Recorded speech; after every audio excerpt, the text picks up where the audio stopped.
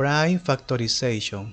47 is a prime number because can only be divided by 1 and itself.